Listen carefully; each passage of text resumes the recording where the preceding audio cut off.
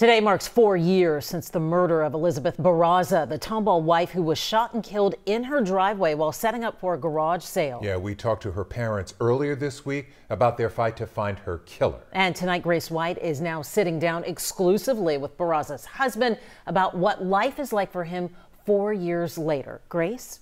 Sergio Barraza told us he's only watched the surveillance video of his wife's killing once to see if he could recognize the killer. He knows in many people's mind he is a suspect, but he says he's done everything he can to help investigators solve the case. Do you think it's a case that can be solved? I, I want it to be. Um, I don't know how they're going to do it. I just hope that they do do it. Sergio Barraza's wife, Elizabeth Barraza, was murdered on January 25th, 2019. Tell us about Liz. Liz was amazing. She was so fun to be with. She was so just genuine and happy. It was amazing being with her and it was like a fairy tale that we we had together. He still has the Harry Potter suitcase she packed for their 5th anniversary trip to Orlando. It's just a little time capsule of how happy she was. The couple was set to leave town just days after the 29 year old's killing. Take us back to that day. What do you remember? I remember getting the trigger on my, my phone, the alarm system, and just being like, what's what's going on? This is weird. Uh, Liz was having a garage sale in the driveway of her Tomball home, and the killer was captured on surveillance video, arriving minutes after Sergio left for work, walking up to Liz in what appears to be a disguise, firing three shots and a fourth one after she was down. Tell us about the garage sale. There's been a lot of focus on that.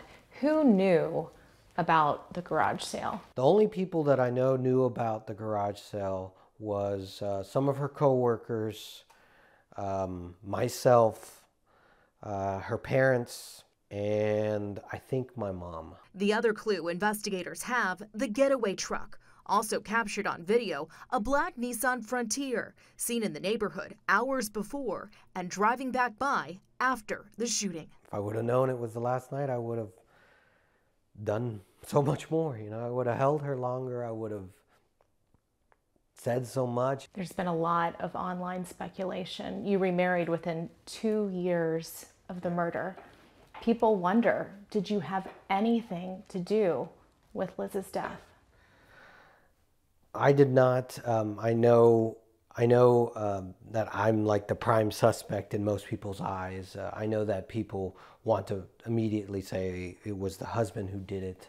Um, I understand that. Um, but it's just you had to know Liz and I. You had to um, see us. You know, I I still love her to this day. I found Amber like about it was about a year and a half after Liz passed away. Amber had lost her sister, and this just we just connected. Do you feel like you and Amber have been unfairly targeted? I've always been an open book for the police, um, and I know Amber has as well. We both have gone through polygraphs. How do you, at the end of the day, make sense of Liz's murder?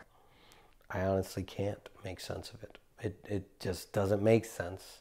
It's like I'm living in a totally al alternate reality from what I was supposed to. I, I drive by the house every so often looking at the life I could have had. Sergio says one of the reasons he does interviews is to encourage people to call in tips. The reward is $50,000 at Crime Stoppers. He had a lot more to say and we'll have his extended interview up shortly on KHOU 11 Plus. It was good to finally hear from him. Hopefully something will come up now, some type of clue, some type of lead. Everyone's hoping so. Absolutely. Grace, thank you.